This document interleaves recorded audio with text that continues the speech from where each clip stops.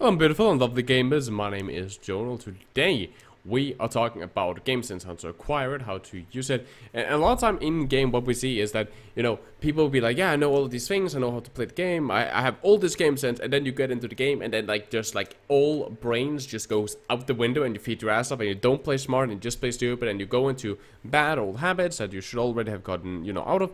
And it's just a horrible, horrible experience. So we're going to talk about how to use your brain essentially in game and also how to acquire game sense. So let's talk about that. Now, when this video is live, I will be streaming on Twitch right now. So link down in the description to my Twitch. We do breakdowns or watch the coaching of you guys, uh, guess my SR if there's enough viewers, watching you guys highlights and montages. Uh, general having a good time. I'm also probably going to play some ranked.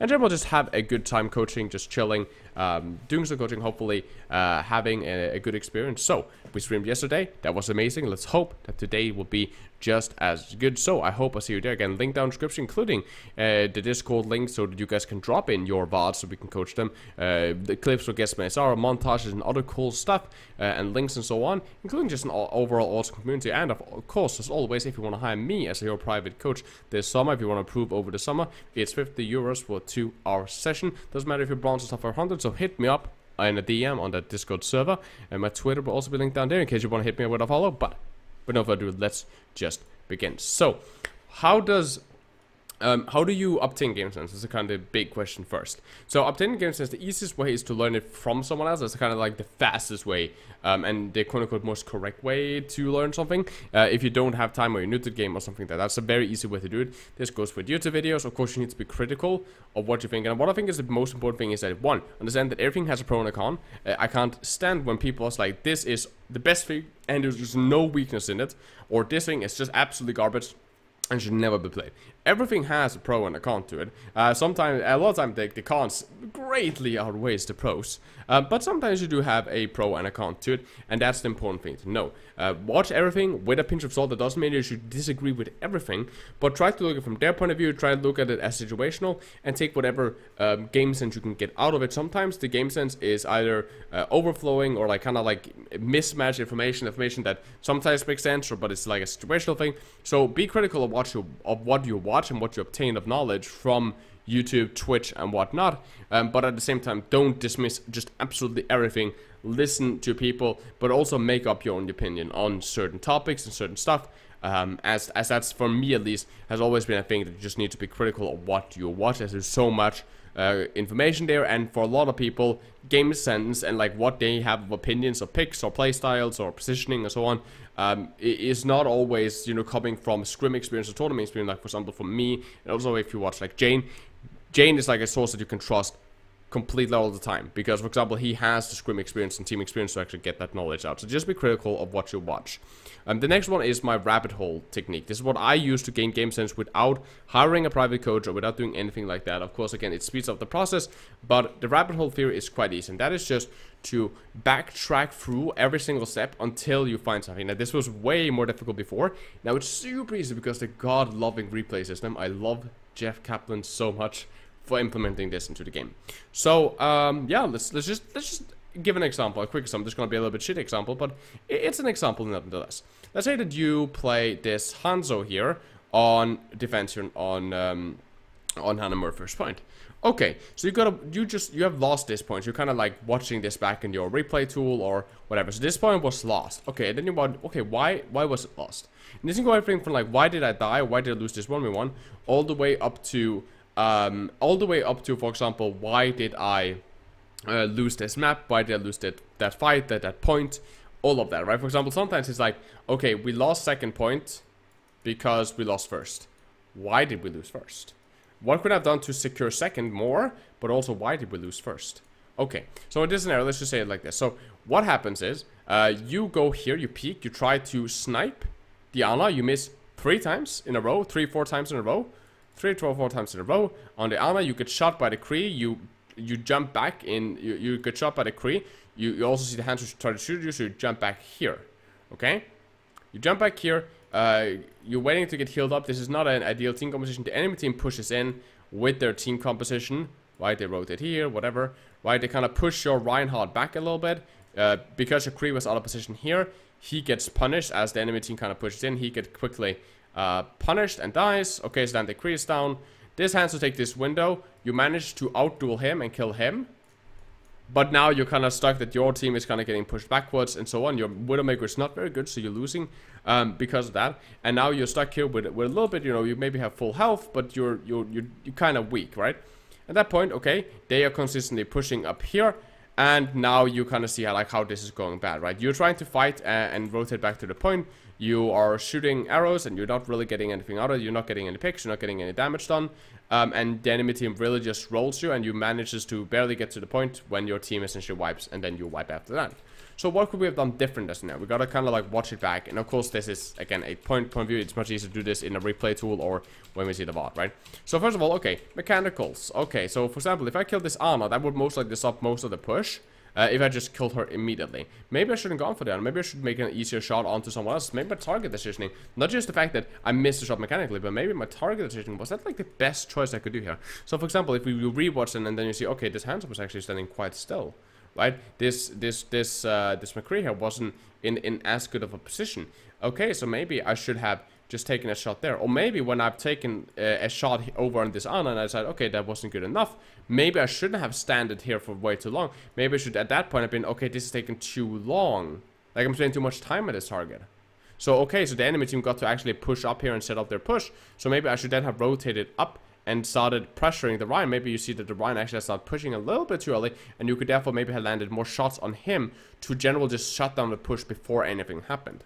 The same when you when you took damage, you will leap back here. Did you need to give up that space, right? The Hanzo pushed the window afterwards, which did do that when your team was falling back, you were fighting this Hanzo, letting the enemy team push in without being punished here. So did you need to give that window? You could also just, that you could maybe just have standed down here or maybe even on this edge getting healed from the Zen. And at that point you could have just denied the choke, maybe sonar a little bit over here, so you had denied that area. Um, and then said, okay, did you have sonar? Why didn't you have sonar? Did you use sonar to spot the Ana? Okay, was that really necessary as you could just peek out the ledge, but that's really necessary sonar, right? At this point, you're rabbit holing, going downwards, and while your Widowmaker probably could have done more, your Kree was out of position, you had a shit team composition compared to the enemy team. That is not what we're looking at. We're looking at your mistake, and you're backtracking, backtracking, and constantly arguing pros and cons of your decision making. For example, moving back here secured myself, so I made sure I didn't die. I knew I, I, I felt confident that if anyone pushed window, that I could do that, but it took too much time maybe. Same with the shot on the Ana. Did that take too much time? Was that the right decision? And not just was that the right decision in that moment, what is the pro and the cons of attacking the Hanzo, counter attacking the Ana, counter taking out the Kree? What would this have given you the benefit in not just this team fight, but like in, in a pure stat fight? What benefits would this have given you in this upcoming fight. For example, by taking out the Ana, you could easily pressure the tanks, make sure that the pants, the tanks never got, make sure that the pants, the tanks, right, and never got enough heals. So okay, they couldn't push because you could you took out the healer, the main healer, and now you just focus the tank, so you could constantly like try to shut down the push. Sonaring the corner so the Hanzo couldn't peek you, and if you tried, he would be heavily outnumbered, or you can maybe 1v1 him, right? That way, you could maybe get more stagger kills and so on, right? So that is the, the easiest way to kind of for me at least, that I use. I broke down my gameplay, I broke down the gameplay of my team and other stuff, and then of course, I said I did learn from other people. Even though I didn't hire a private coach, uh, or I didn't, there wasn't like the same educational content that there is now, there wasn't a replay when I started because it was so back.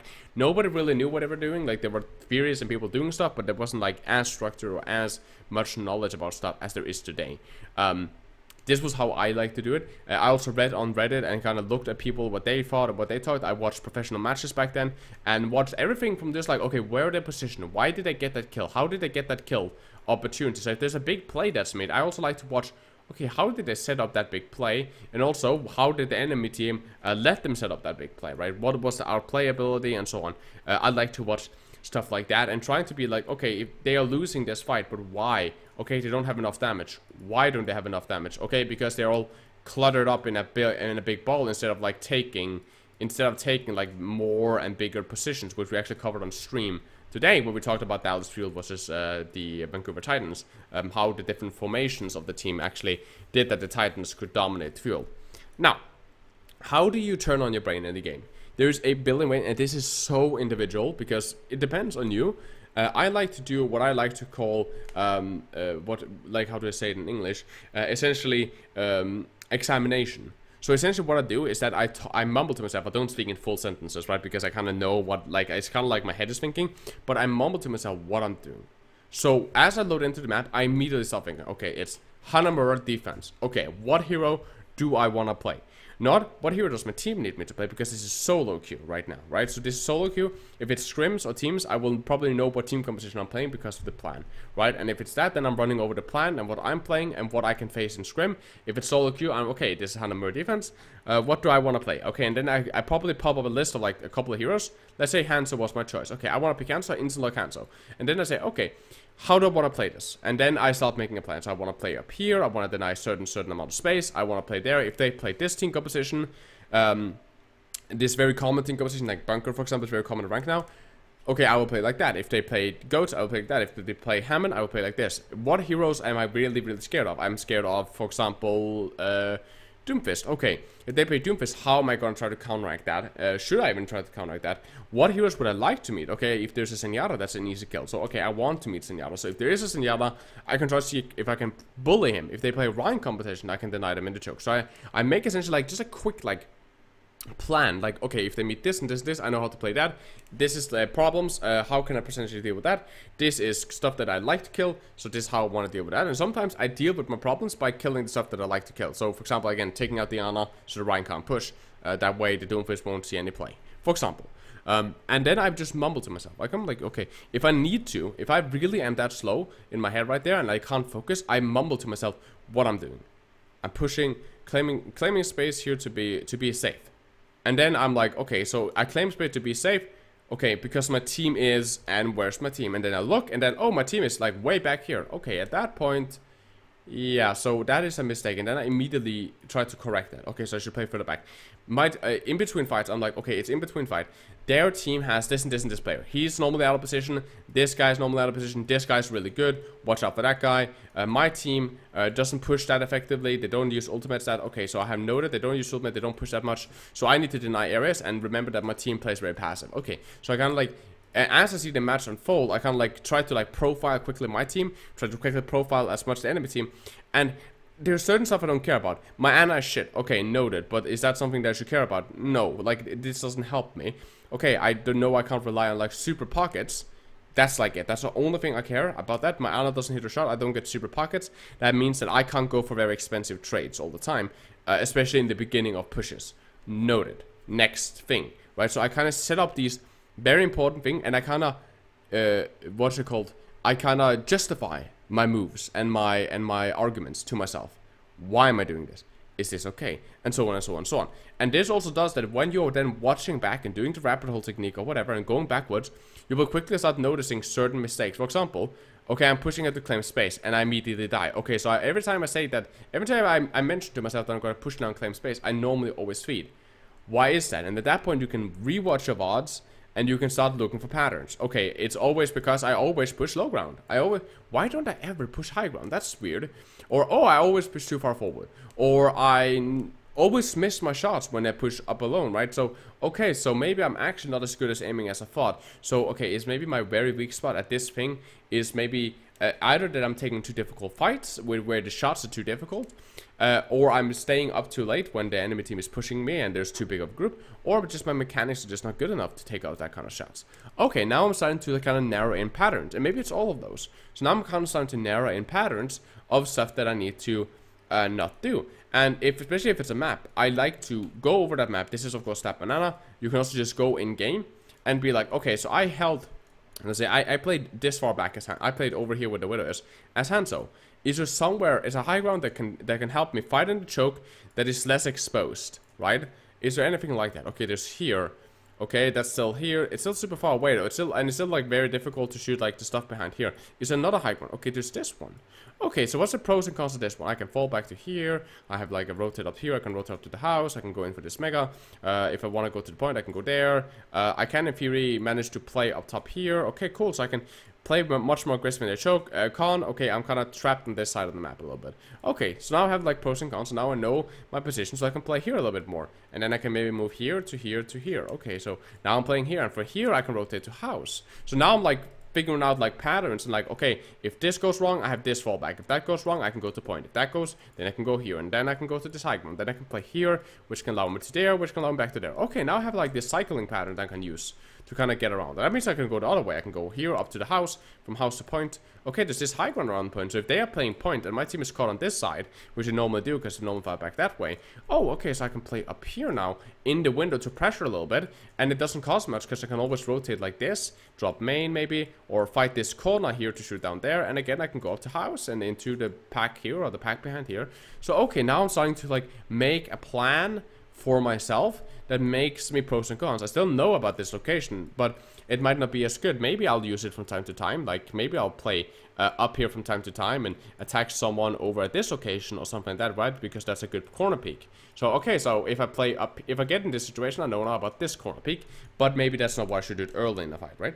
So now you're starting to kind of build up game sense algorithm stuff, and this is the best way for me at least the best way is of course to listen to people and understand what other people get but i'm a self-learner. I need to to learn teach myself stuff.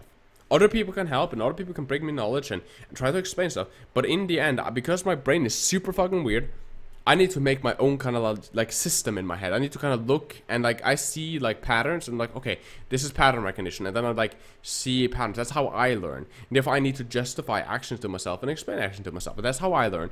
Other people learn by putting down this in, in, spreadsheets and uh, like log statistics about when they die and when they don't die.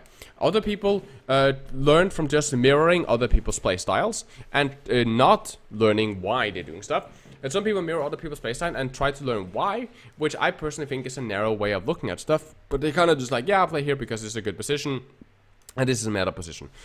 People learn in different ways, uh, and how you want to put your brain in activeness um, is up to you. But I highly recommend just start thinking in the beginning of the game to the end of the game, arguing. You lost the fight. Okay, what did they burn? What do they have? Where are you going? Why did you die? Where should you not push? Where they most likely set up the defense or where they most likely going to attack from? Okay, where do you want to set up now in attack? Where do you now want to push as a, a defender, right? Where, how do you want to do this, right? Essentially, when you die in the spawn room, how is this fight elaborating out? Okay, so when I'm leaving spawn, when I'm leaving spawn, there is like, I can see like at least three dead symbols on my teammates. Meaning three people are dead, and I'm here. And my Ana's here. And my Lucio is like behind me. So maybe I shouldn't push.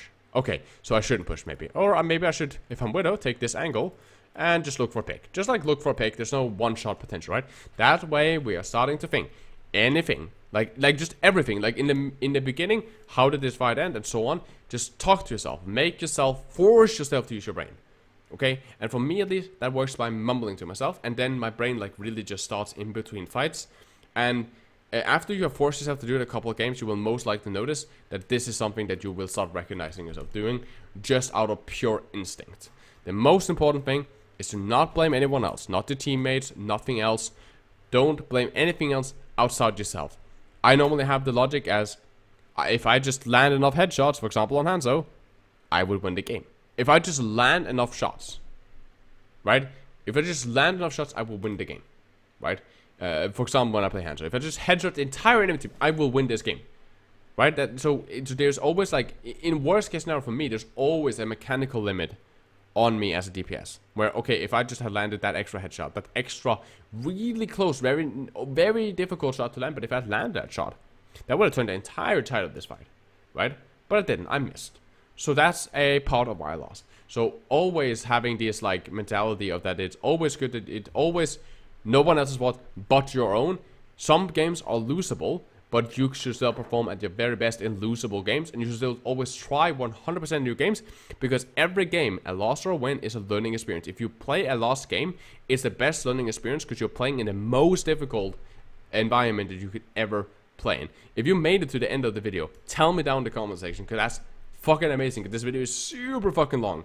I hope I see you on the stream. It's live right now. I hope I see you there.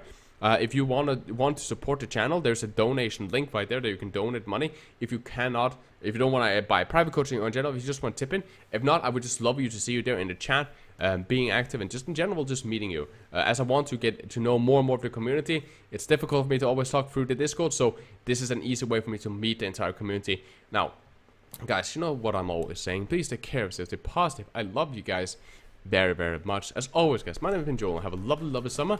And as always, keep the enemy in your crosshair.